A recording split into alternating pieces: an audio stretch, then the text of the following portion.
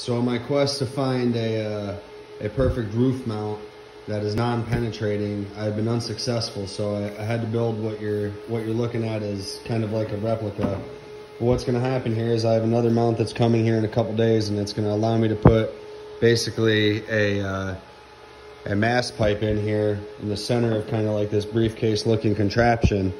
And these have weights in them, and they're able to flex over the pitch of my uh, the pitch of my roof.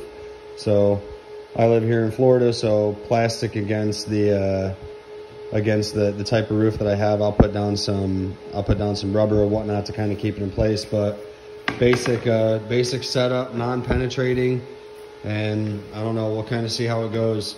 I had to kind of design my own though, since nothing out there was really fitting the bill.